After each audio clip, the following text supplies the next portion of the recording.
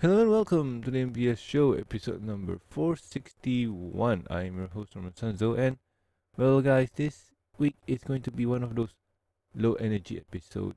I'll explain why later in a bit, but we got news for you this week, and let's hop right into it.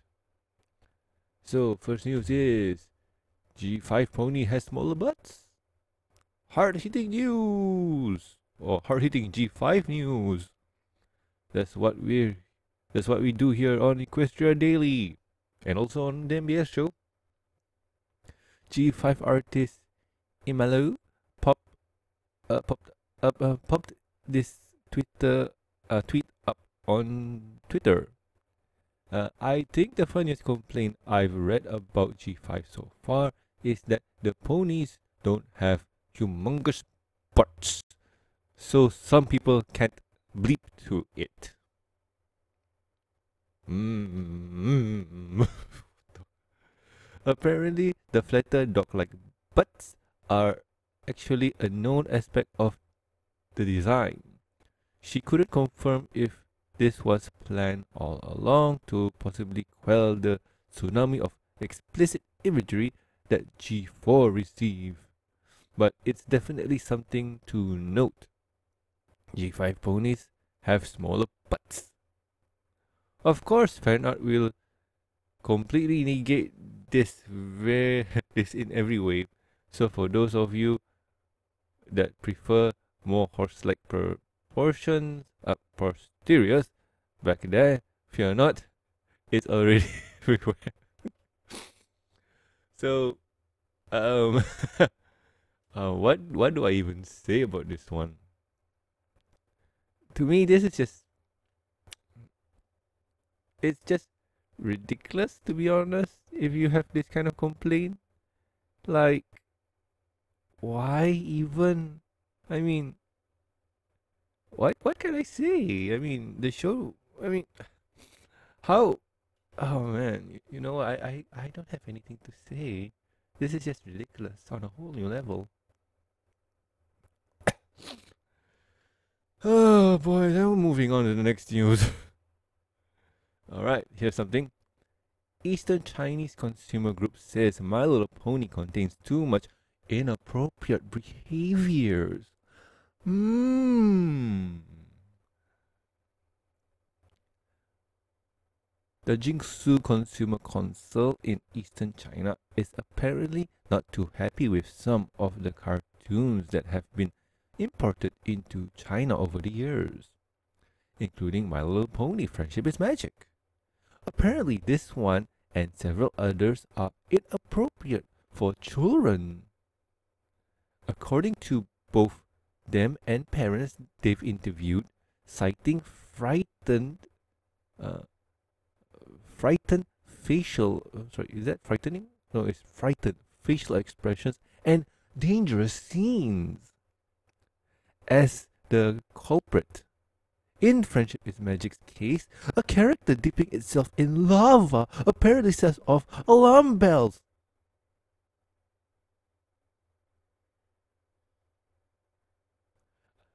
According to them, kids mimic this scene, and they cite a show called Boonie Bears that played host to a brother accidentally killing his sister with an electric saw after watching the bears do it.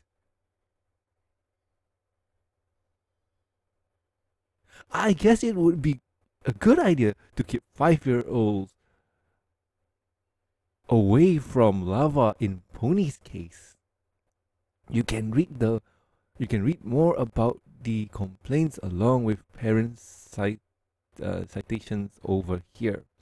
You know, I'm not going to read that. That's not a word. Oh, sweetie, but I have to extra time on that. Oh boy. okay, I get what I, I get where they're coming from. I get where they're coming from. I was an impressionable little kid before. And watching Donatello or Michelangelo swing his nunchucks around, or even watching Bruce Lee swing his nunchuck around was pretty cool and badass. But my parents were there to tell me, stop that. You might hurt yourself or hurt somebody else. And one out of nine times, I would hurt myself with the nunchucks and stop doing it. So, for this one here, I get where they're coming from. I do. Because I surely as heck won't be showing my nephews uh, a Helluva Boss or Hazbin Hotel. So here's the thing.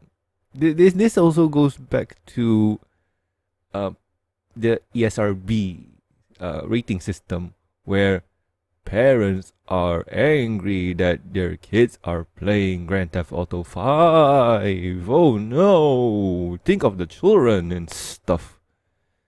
But the thing is, you are responsible for your own spawn. Okay, probably to an extent your whole family, but still, you are responsible to teach them what is going on on TV and telling them that, yo, stop that. That is just a show. You should not mimic that. It's not right. And you should teach and discipline them.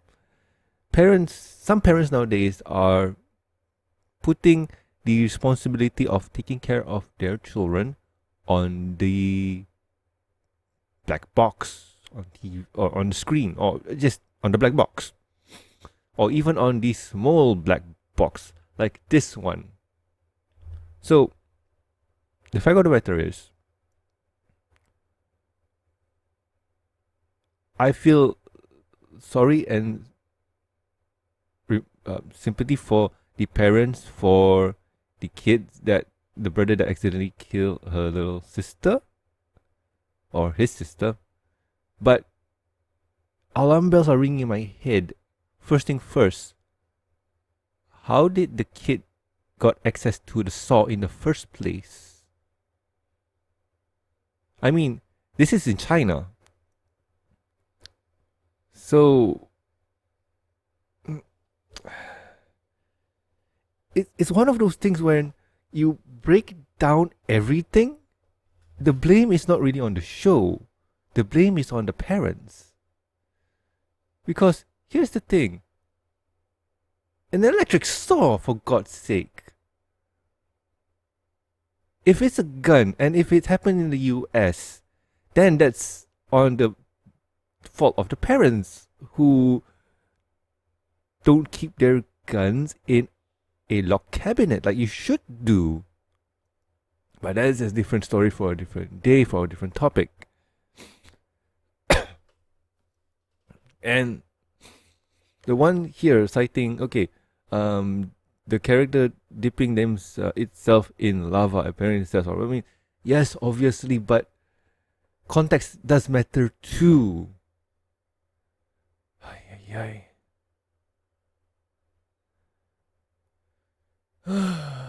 You know what? I'm tired. Like this is one of those topics where parents take care of your kids.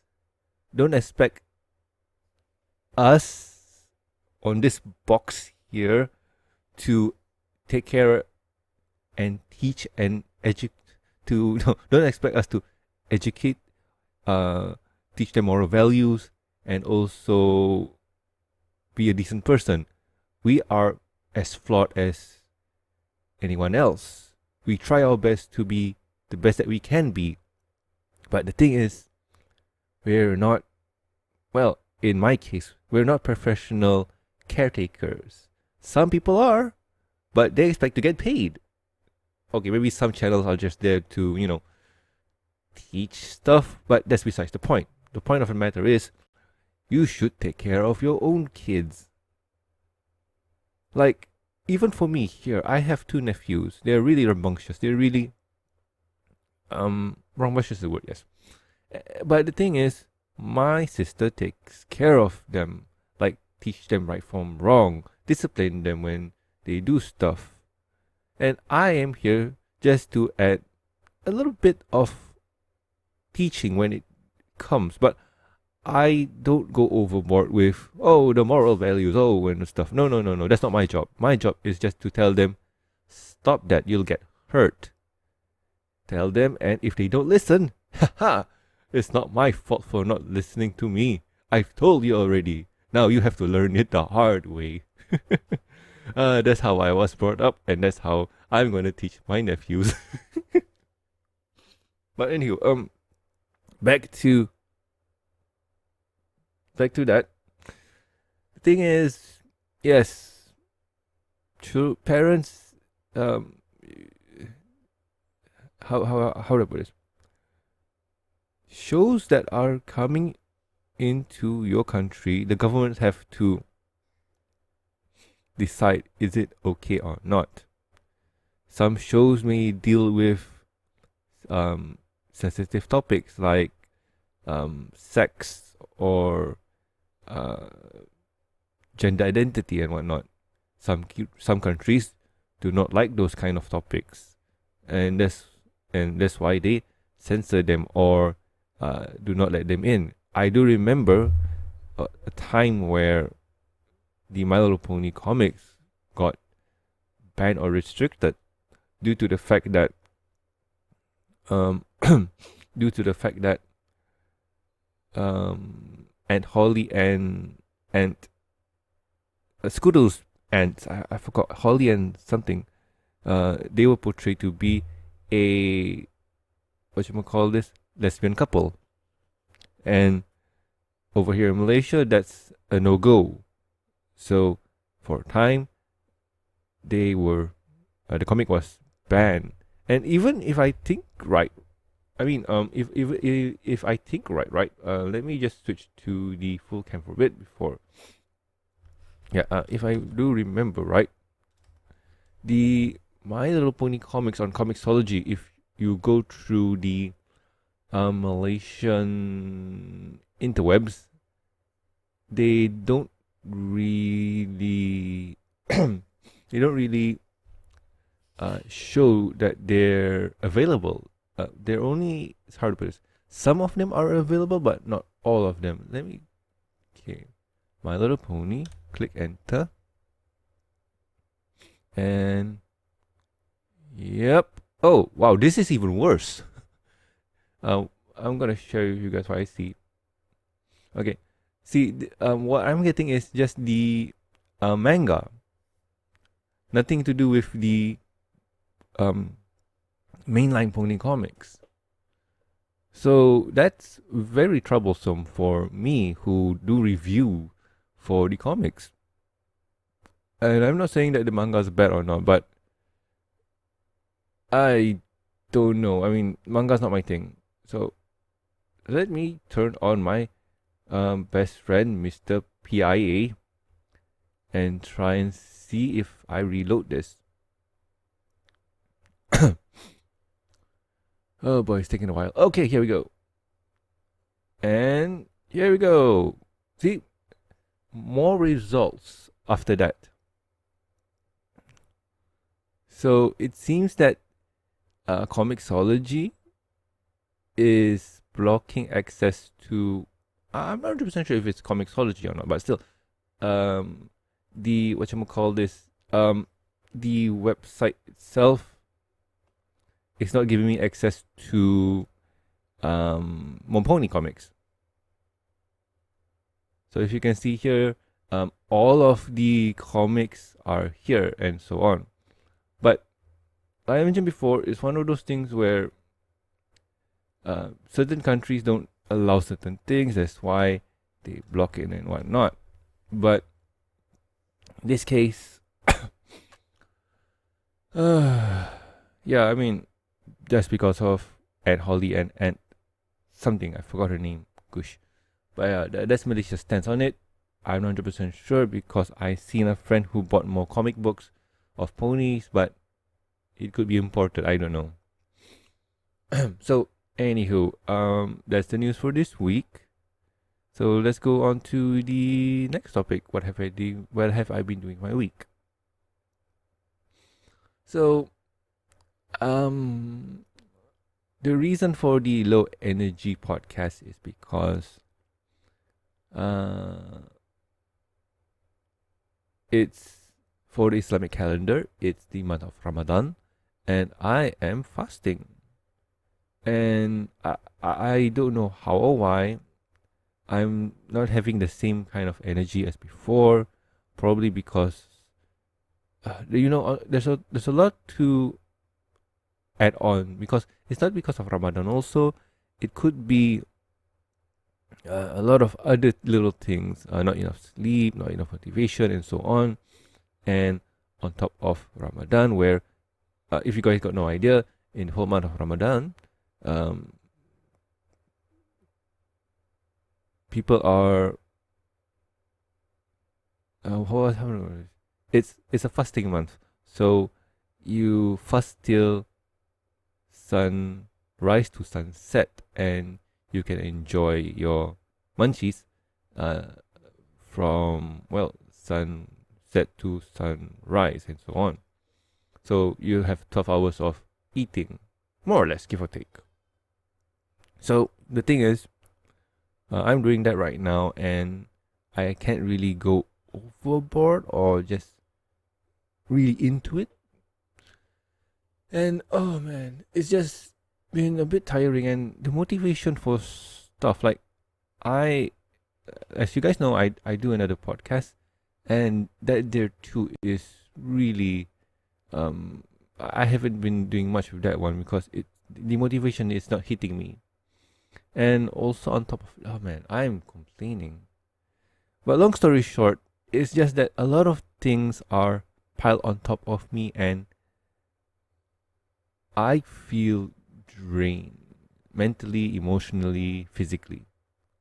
So with this one for the MBS show, um, I cite fasting as one of the key factors. If not, I just am normal.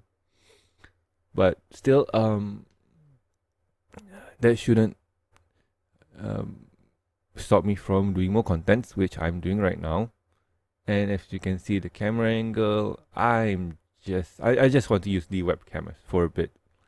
I, I don't really want to just hop onto the DSLR and look that way. My goodness. But anywho, guys, I hope you understand and still watch the show and support the show. Um, I, I, I'm trying to get myself pumped up to stuff and whatnot, but man, there's a lot of things and also money and also, yeah, let's just say the pandemic is not helping. Mm. So anyway, if you guys have any questions, concerns, or suggestions, mm, or suggestions for the show, you can contact us at thebsshowgmail.com. You can also reach us on the Twitters. The show's Twitter account is at MBS Show, and my personal Twitter account is at Norman Sanzo. Also, please subscribe, rate us on iTunes, YouTube. Don't forget to press the bell icon so to stay up to date, and also Stitcher Radio, and also like our Facebook page. You can also catch us on ponyvillelive.com. Also, please subscribe and rate us on Review Discussion Podcast on iTunes and Stitcher Radio. Over there, you catch me and Totera reviewing the pony episodes, comics, and specials. Uh, sometimes we like to do other things than ponies, and those are comic books, cartoons, animes, and movies. Also, video games. Uh, if you would like to support the show, you can do so at patreon.com slash show. With every support, you get a week's early access to the review and discussion podcast exclusive and deleted content. And a huge thank you from me. Talking about the thank yous, I would like to thank Lucky Knight, Jeffrey, myself, like, and also Tristan. Thank you so much, guys. You are great. So anyway, I have been Norman Sanzo, and I'll catch and I'll catch you guys next week with another fun episode of the BS Show. See ya.